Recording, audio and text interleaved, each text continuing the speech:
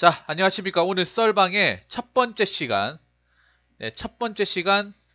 우리, 어, 첫 번째 시간인데, 오늘 썰은 상당히, 상당히 좀 뜻깊은 시간이에요. 왜 뜻깊은 시간이냐 하면, 우리 사연자분이 저에게, 어, 컨텐츠로 좀 써달라고 자기가 PPT 파일을 만들어서 자기 경험담을 어, 프리젠테이션으로 만들어 줬는데, 아, 정말 감사한데, 제가 파일로 보- 보니까 글씨가 너무 작아서 화면을 안 보이더라고요. 그래서 제가 다시 살짝 편집을 해가지고 어, 글씨 좀 키워가지고 화면에 보이게 됐습니다.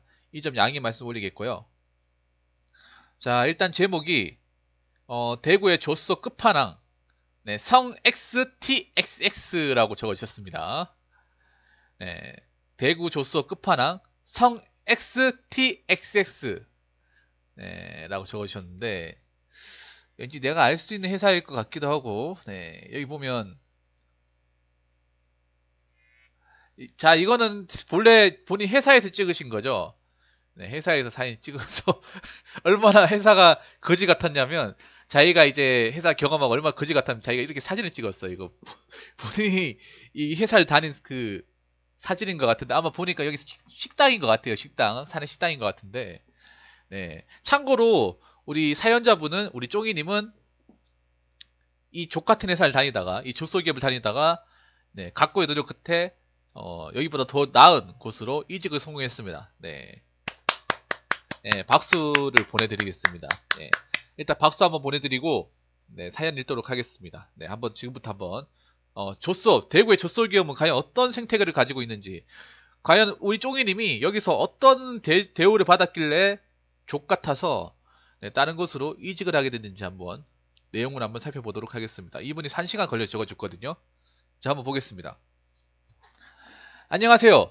대구에 조소 다니고 있는 30대입니다. 불과 몇 달 전까지 다닌 대구 모기업에 대해 정보 공유 차원으로 메일 보내드립니다. 말주변이 없어서 두서없이 주절거리는 글이 될 것 같지만 이 회사에 지원하는 또 다른 피해자를 위해 글을 올립니다.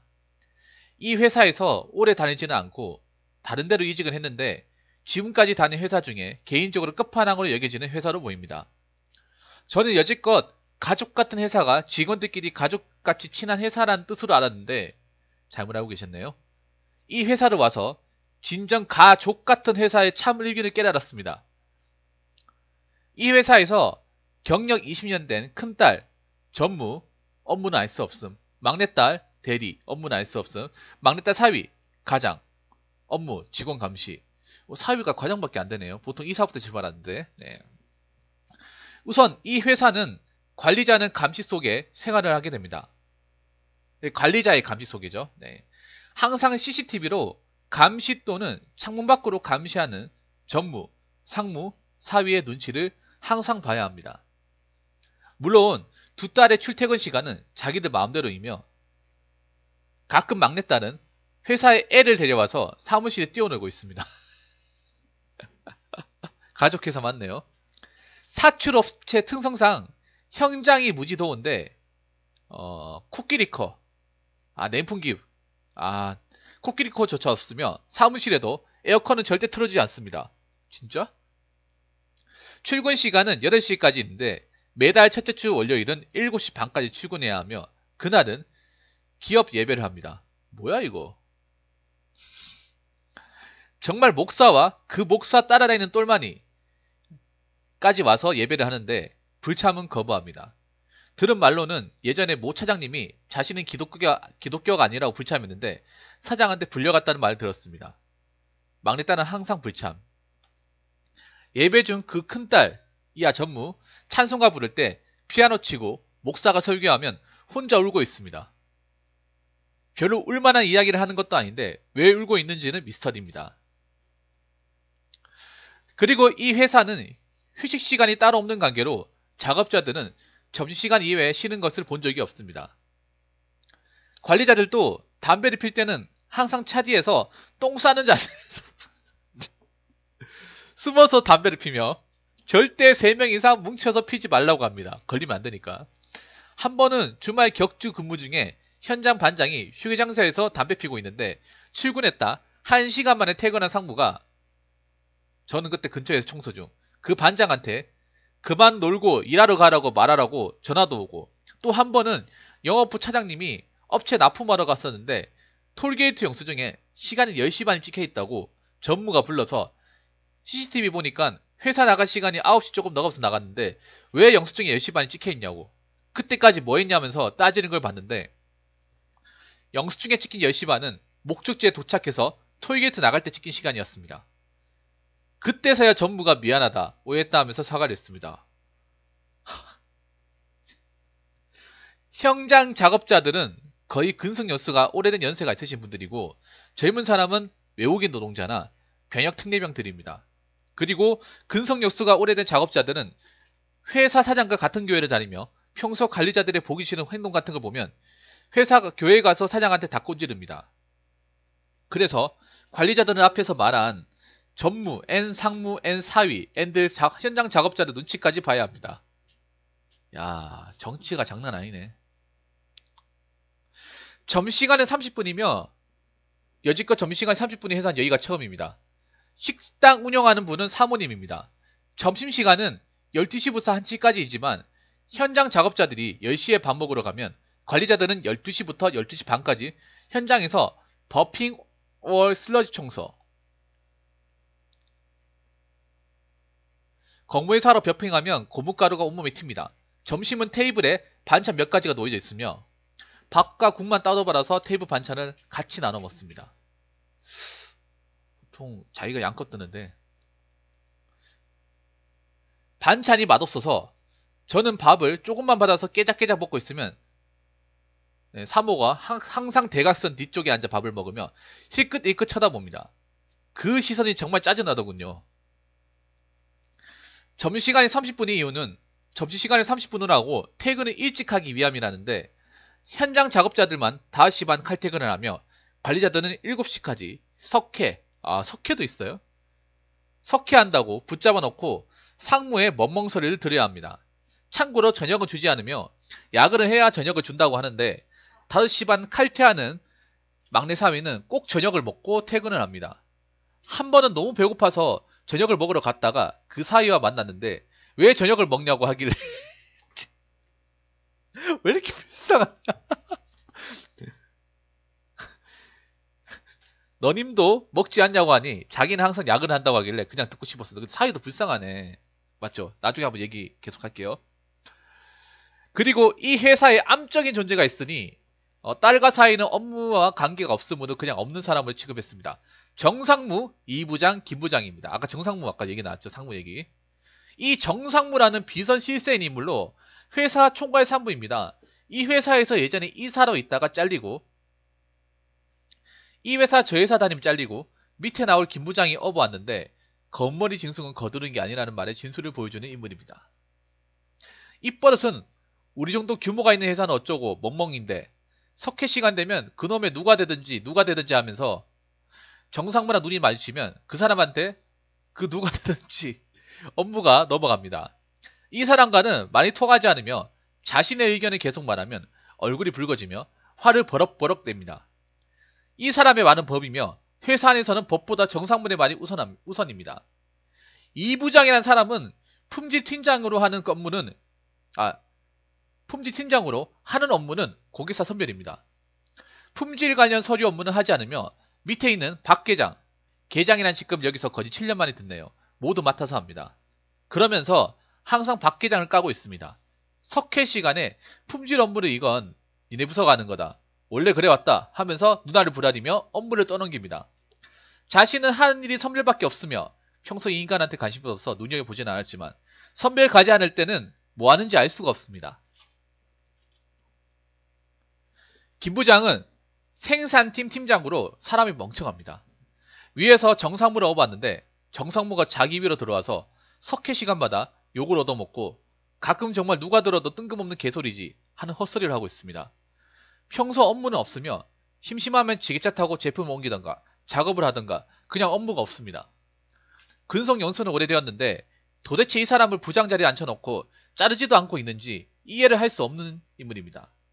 번외로 이참사라는 사람이 있는데 이름 이참사예요. 네. 이 사람은 이전에 영업팀 이사로 있었는데 일하다 다치고 산재받고 병원시에 지다 복귀를 했는데 생산팀 작업자로 전락하여 현장에서 제품 검사팀에서 검사 업무를 하고 있습니다. 그리고 현재 사람인의 90 올라오는 이 회사의 개발팀은 현장에서 직접 장비 조건을 세팅하며 금형을 고체 또는 샘플형 성형 작업을 직접 해야 합니다. 급하게 작성하느라 평소에도 긴 글 잘 쓰지 않고 빼먹은 게 없는가 싶은데 이상 저의 주저주저를 들어주셔서 감사합니다. 저 같은 피해자가 생기지 않길 바랍니다. 라고 적으셨는데 예, 얘기 잘 들었습니다.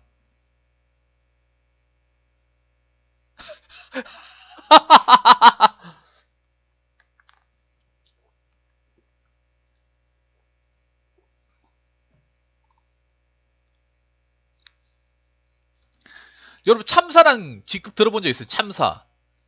참사란 직급 들어본 적 있어요? 어? 참사란 직급. 나 처음 들어봅니다. 여지껏 회사를 그렇게 많이 봤지만 참사란 직급 처음 들어봐요. 여러분 들어본 적 있습니까? 조소기업에 참사란 얘기는 잘 안 썼던 것 같은데 이게 어떻게 된 거지? 내가 잘못 알고 있는 건가?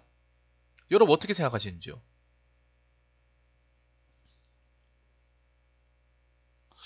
참사.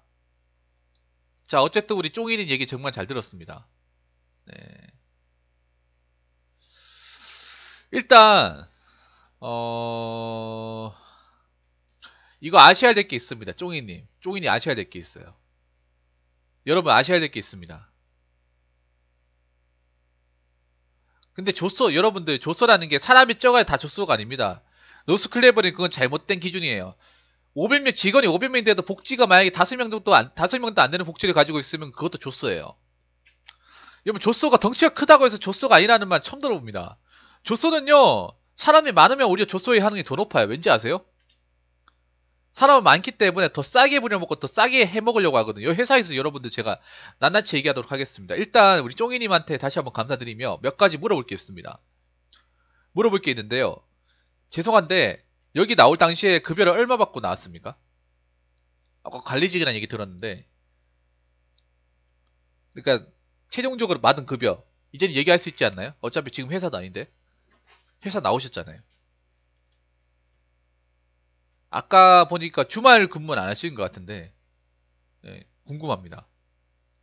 죄송하지만 솔직하게 말씀해 주시면 안 될까요? 여러분도 궁금하지 않습니까? 이렇게 일을 하는데 과연 얼마나 돈을 받을까? 3,500요? 야, 3,500이면 그럼 직급 하나 물어볼게요. 마지막으로 직급. 직급이 뭐였습니까? 그러니까 퇴사하기 최종 직급. 격지 토요일 출근요? 어.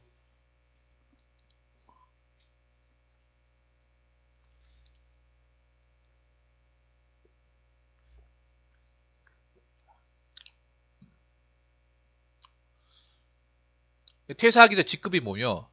계장요? 아, 계장. 그러면 마지막에 또 하나 물어볼게요. 직원 수가 총 몇 명이에요? 총 직원 수. 그러니까 현장과 사무직까지, 그러니까 임원까지 다 포함한 직원 수, 대략적인 직원 수가 몇 명이 정도 됩니까? 왠지 내가 좀 알 수 있는 회사일 것 같아서.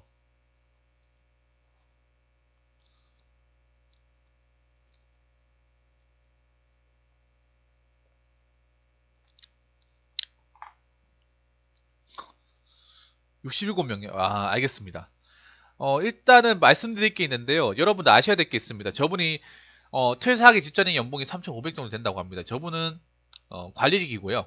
그 직급은 계장이었고 격주 토요일 날 출근하고 격주 토요일은 뭐냐면 여러분들 이런 거예요. 한 달에 두 번이니까 한 달에 두 번.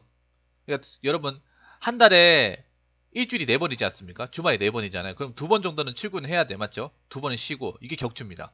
이 격주 문화가 조수역이면 다 있어요. 거의 대구 여러분도 아셔야 되는 게 있어.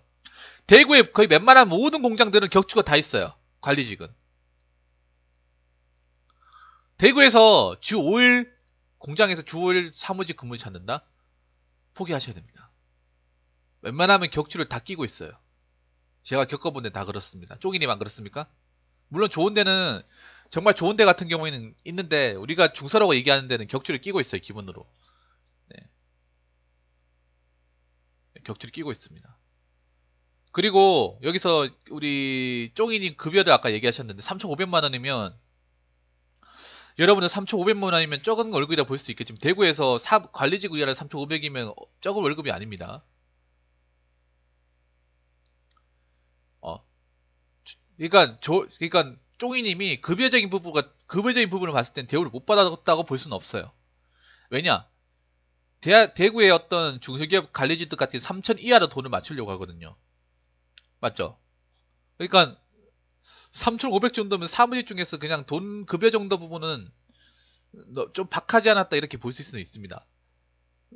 근데 이 회사가 제가 구조적으로 잘못된 걸 몇 가지 말씀드릴게요. 그리고 왜 아까 그 부장 그런 사람들이 왜 부장으로 있는지도 말씀드릴게요. 제가 물론 쪼기님 생각이 다를 수도 있겠지만 이 회사의 가장 큰 업무는 뭐냐? 보통 사장 사장 자제분들은 여러분도 아시겠지만 보통 조소 기업들은 가족 가족 친인척들을 다 벡터유통으로 만들어 가지고 벡터유통으로 만들어서 그 사람들을 다 주요 요직에 다 꽂아 넣습니다. 이건 다들 아실 거예요, 맞죠? 근데 보통은 있죠, 여러분들. 보통 딸은 있잖아요, 딸. 따님 같은 경우는 보통 임원 안 시킵니다. 조서라 하더라도요. 남자는 모르겠지만 딸들은 보통 부장이나 한직 같은 데 안치게해요 근데 여러분 전문학 하면 거의 실세야 실세. 어?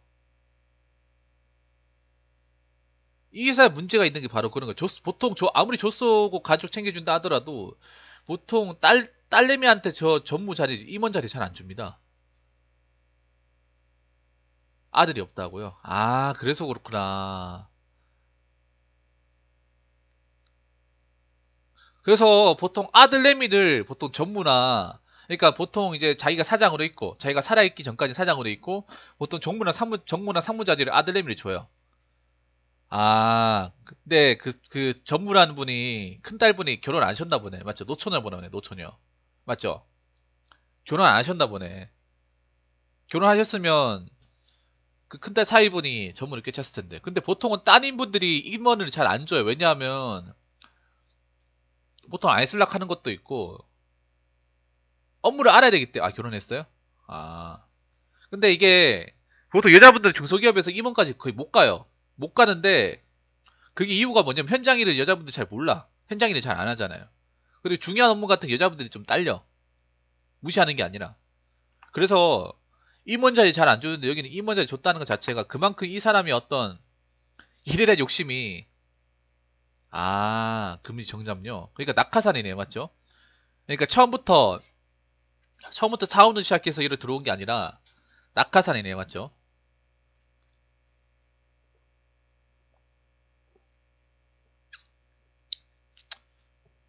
막내딸하고 사위는 그거겠죠. 밖에서 놀고 있고 직업이 비리비리하니까 들어와라고 했겠지. 제상한데 큰딸하고 막내딸하고 나이 차이가 좀 있죠. 많죠. 큰딸분하고 막내딸하고 나이 차이가 좀 많죠. 상당히 많죠. 못해도 한 10살 차이는 나죠. 엄청 많이 날 것 같은데? 내 예상은 한 15살 차이 날 것 같은데요? 멀리서 보면 약간 자매 지간이 아니라 어머니와 딸 같은 그런 느낌. 10살까지는 아니라고요? 근데 왜 대리밖에 안 되지, 막내딸은? 아, 그래요? 결혼 늦게 하셨나? 근데 제가 보니까요. 이 회사의 또 특징이 뭐냐면 또 사비를 못 믿는 것 같아, 사장이. 이 회사의 또 특징이 뭐냐면 제가 가만 보니까요. 사위로 들어오면 보통 사위가 짬밥을 챙기면 이사부터 시작하거든요. 이사로. 경영 수업을 받게 한단 말이에요. 맞죠? 회사로 들어오게 하면 아, 그래요? 그래서 지원 감시부터 시키는구나. 그러니까 그거네. 내가 쫑이님 아시겠어요? 뭐냐 하면 이 사람들이 밑바닥부터 이제 나이어리 때부터 들어온 게 아니라 밖에서 뭐 하다가 말아먹고 할 거 없으니까 어? 할 거 없으니까 저 어? 장인어른 뭐 하나 자리라도 좀 내주십시오. 열과 성의를 다해서 열심히 하겠습니다. 걔가 들어온 거네. 사업하다 왔다고 하는 게 사업하다 말아먹은 거죠. 100%입니다, 여러분. 사업하다 왔다고. 사업하다 왔으면 사업 사업 사업했으면 그 사업하러 가야지. 왜 여기서 일합니까? 감시나 합니까, 여러분? 웃기지 않습니까? 아니 사업 여러분 사업하는 게 아니라 여기 직원 다른 직원들 뭐 하는지 이것을 감시하는 게 낫습니까? 당연히 사업하는 게 낫죠. 그 말은 뭐냐? 자기가 사업해가지고 존나게 말아먹고 깡통 차고 있으니까 장인어른한테 부탁했겠죠. 제발 뭐라도 하겠다 하면서 어, 딱 그거 아니겠습니까? 계산 나오잖아요. 어? 어? 만약에 여러분 생각해봐. 만약에 어? 결혼해가지고 바로 사장 밑에 들어갔으면 이사를 달고 있어야 돼. 이사랑 상물 달고 있어야 돼. 쫑이님 맞잖아요, 여러분. 어? 이사랑 상물 달고 있어야 되는데 과장 지금 들어오자마자 아직 얼마 들어온 지 얼마 안 되고 이제 과장 달고 있다. 근데 하는 직무가 그냥 직원 감시일 뿐이다. 그럼 말 다 했죠 그러면. 밖에서 어 밖에서 깡통치 하고 있다가 장인어른한테 얘기해가지고 어떻게 샤브샤브가 들어왔겠죠. 어 조소기업 이런 게 굉장히 흔합니다 여러분들. 야 기독교 집안인가 보네 기독교 집안. 어 참나. 야 월요일날 진짜 출근하기 쉽겠다. 월요일날은. 혹시 11조라는 얘기 안 합니까? 11조. 헌금 같은 거 내라는 얘기 안 해요?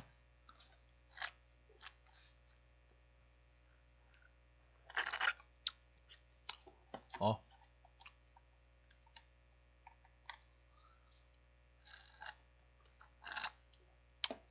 제가 이런 말씀 드리면 그런데요. 회사 안에 기독교 십자가 박아놓는 회사 치고 정상인 회사 본 적이 없어요.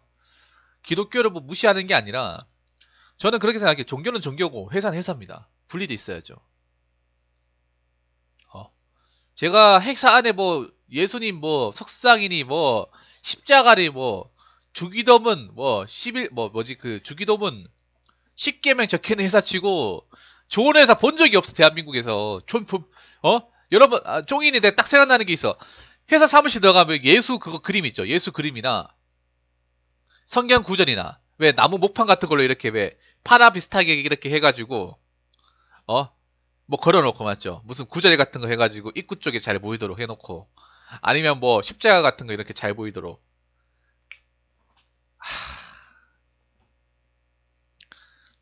노답이다 노답 이 회사가 아니라 교회네 교회 회사가 아니라 교회야 어? 회사가 아니라 여러분들 그 사건 뭐 아시지 모르겠는데 전설의 사건인데 오대양 아시죠 오대양 오대양 완전 오대양이네 현대판 오대양이네 어?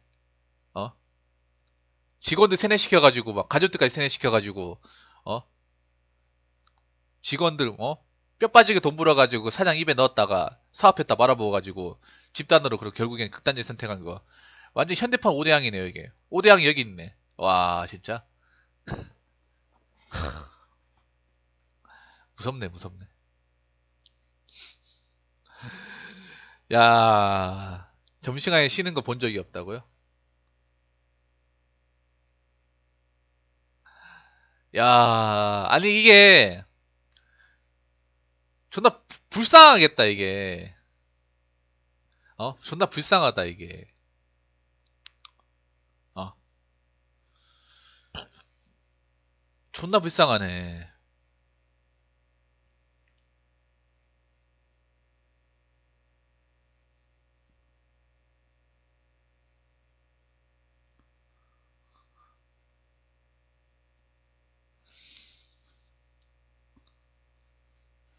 담배 필 때 이렇게 보면 쪼그리고 앉는 딱 보이잖아요. 왜, 그림자 같은 거 보이잖아. 실루엣이.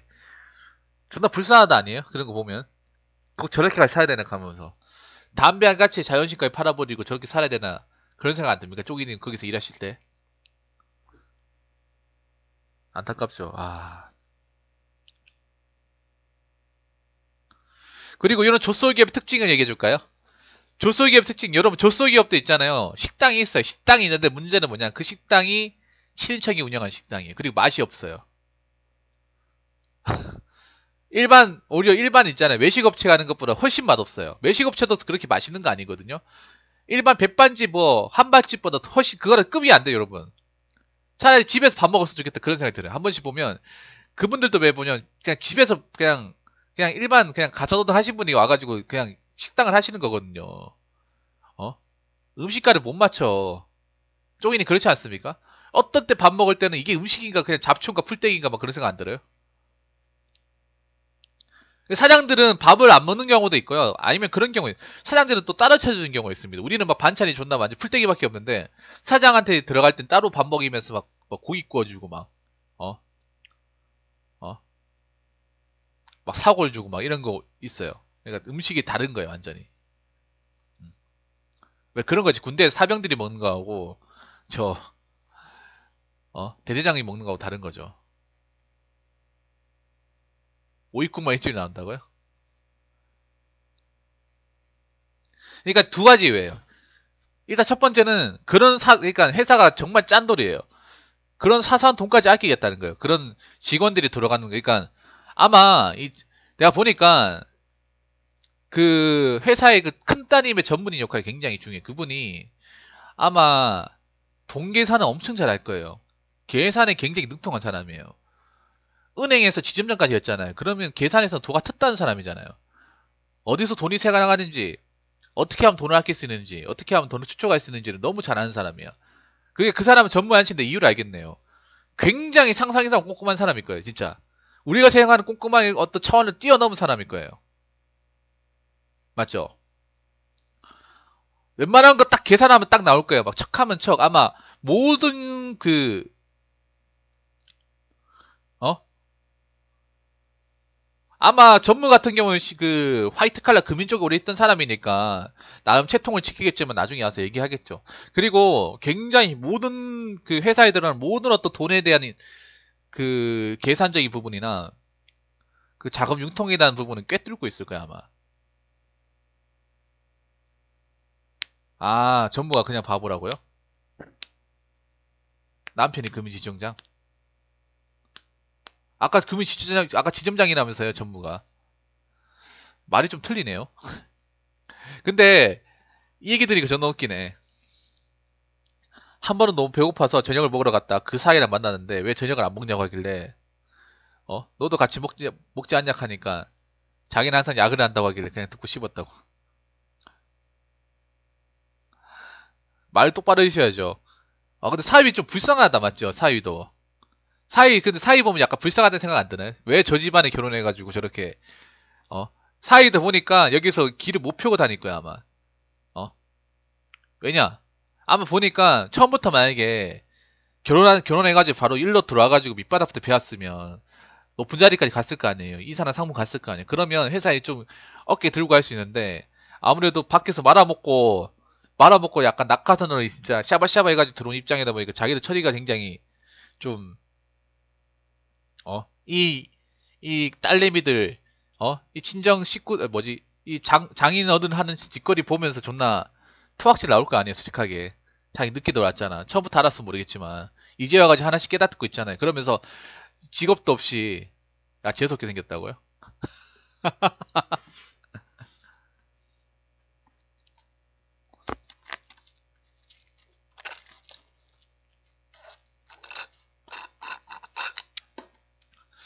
아유 참 근데 있잖아요 그 막내딸이 무지 못생겼다고요? 얼마나 못생긴 거야? 내가 중소기업 격리 치고 이쁜 사람 본 적이 없어. 이쁜 사람 본 적이 없어요.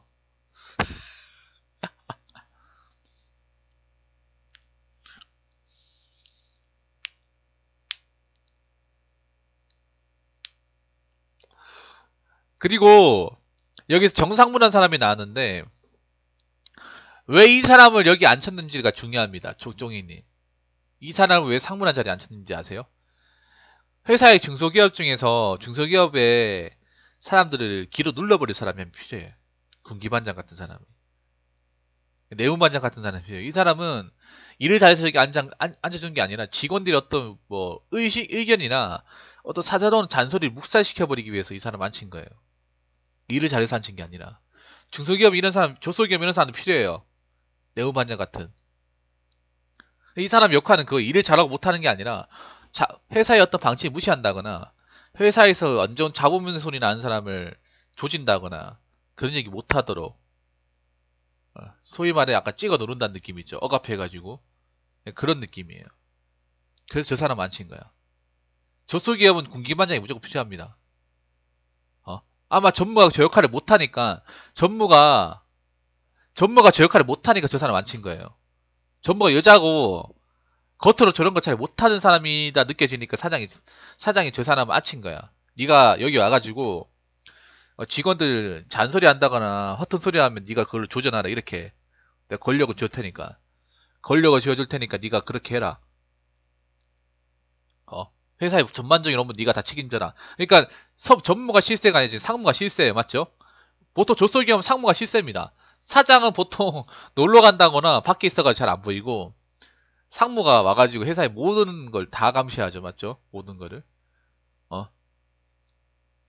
특히 이 사람 같은 경우에는 정상무 같은 경우에는 아마 중소기업에서 굉장히 잔뼈가 굵은 사람일 거예요.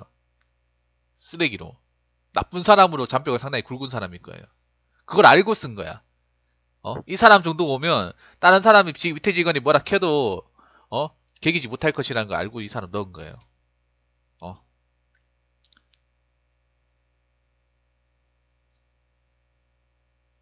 그리고 이 보통 부장이라는 사람들 그리고 중소기업에서 부장이라는 사람들이 일자리에서 일 잘해가지고 거기 앉아 있는 사람도 있는데 이 부장인 사람이 왜 왜 저런 품질 팀장이라고 있지만 품질하고 전혀 상관없는데 품질 팀장 달고 왜 왜 저희를 왜 하냐면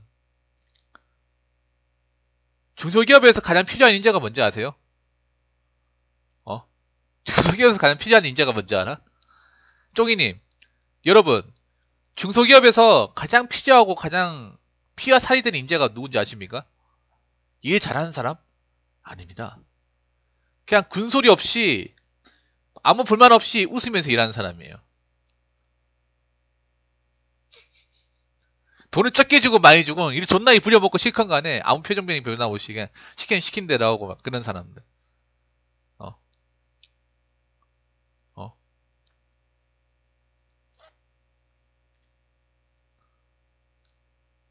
그래야 오래 갈 수 있기 때문에 그냥 어? 일 잘하는 사람 필요 없어요. 맞잖아, 종이님. 어? 그냥 뭐 시키면 시킨 대로 어? 굴리면 굴리는 대로 이렇게 가는 사람들. 자, 그리고 아까 김무장이라는데 그리고 멍청한 사람. 중소기업에 또 필요한 사람들이 멍청한 사람이에요. 어? 멍청한 사람. 이 멍청하다는 게 뭐냐? 자기가 굉장히 대우를 못 받고 있는데 그 자존심을 못 챙겨 먹는 사람들. 워낙에 오랜 시간 동안 무시받고 억압당하고 짓밟히다 보니까 자기가 부장이란 직급, 부서장이란 직급을 닳고 있음에도 불구하고 그 힘을 이걸 써야 되나 말아야 되나? 내가 부장인가 사원인가? 어? 자기가 뭔가 억울한 일을 당하고 급여적인 만족이 안 된다. 뭔가 회사에 뭔가 억울하다 해도 그냥 그렇게 사는 사람들 워낙에 억압을 많이 당하다 보니까 오랜 시간부터 억압을 많이 당하고 자기 견은 피력 못하다 보니까 그냥 그렇게 그냥 물 흘러가듯이 하는 사람들 그리고 아까 보시면 여기 그런 얘기 이 사람은 왜 부장 자리에 앉혀놓고 자르지도 않고 있는지 어? 이 사람 이 사람 잘라가지고 회사에 능력 있는 사람 안 친다 그럼 분명히 부적합함이 생깁니다 이런 사람 멍청한 사람이 앉아놔야 저런 자리 저런 자리에 앉아놔야 나중에 어 맞잖아요. 뭔가 회사에 불만 있으면 부서장한테 얘기할 거 아니에요. 어? 부장한테 얘기해도 어, 뭐 얘기 만약 얘기한다 해도 뭐 얘기 들어도 아 저 회사에 저 이런 불만 있는데 이거 좀 어떻게 생각하십니까? 하면 어? 어뭐 어? 뭐 사람 사는 거 뭐 다 어? 사람 사는 거 다 뭐 하는 거지 뭐 이유 있나 뭐 어? 뭐 둥글 막 이렇게 둥글둥글하게 얘기하면서 막 어? 들은 척 많은 척 하면서 막 말 안 통하고 아마 이런 식의 반복일 거예요. 이런 사람 필요하다고요. 중간에 묵살 시켜줄 수 있는 사람. 중간에, 중간에 나가리 만들어줄 수 있는 사람 필요하거든요. 어? 그래서 이런 사람들이 앉아 있는 거예요. 어. 다, 다 이유가 있는 겁니다, 이게 여러분들. 어? 쫑이님, 아, 멍청한데 부장 달고 있지? 아, 왜 저 사람 왜, 부장 달고 왜 이렇게 책임감 없이 일을 하지? 다 이유가 있는 겁니다, 여러분. 조소기업에. 대기업 같은 데는 물론 대기업도 그럴 수 있겠지. 대기업은 그래도 능력자잖아. 성과가 있어야 그 위치까지 갈 수 있잖아요. 부장은 아무나 할 수 없잖아요. 맞죠? 부장까지 가는 것도 제가 알기로는 사원 중에 한 10%인가? 그 밖에 못 가는 걸로 알고 있거든요. 근데 중소기업은 좀 다르거든. 일을 잘해서 부장을 가는 게 아니거든요. 어.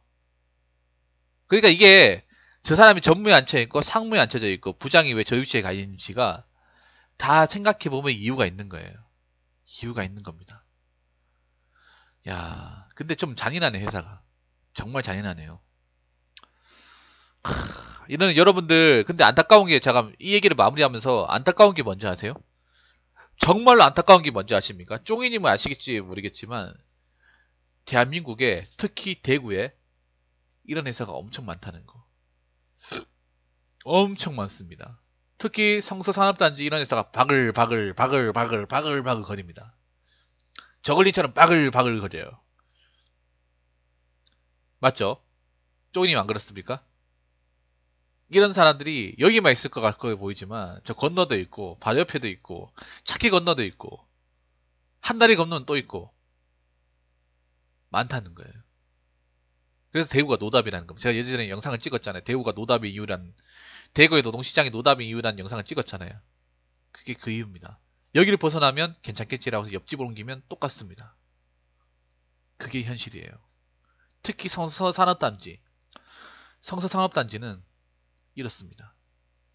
그래서 우리 쫑이님이 이, 이 지역에 대한 어떤 노동 현실, 노동 탄압을 어, 물론 두서없이 적어주시긴 했지만 상당히 좀 재미있고 어, 신랄하게 적으신 것 같아서 저는 나는 재미있게 읽었습니다. 그래서 여러분들이 혹시 대구 쪽에 성서산업단지 취업하시려고 하시는 분들이 있으면 좀 눈여겨서 좀 들어주셨으면 감사하겠습니다. 네. 아무튼 우리 쫑이님 얘기 잘 들었고요. 다시 한번 우리 쫑이님 어, 이렇게 조소기업 본인 겪은 경험담을 이렇게 제보해 주셔서 감사합니다. 네, 정말 많은 분들이 좀 보고 느낀 게 많았으면 좋겠네요. 네, 잘 읽었습니다. 자, 이상으로 어, 조소기업 어, 대구의 조소기업 경험단설 마치도록 하겠습니다.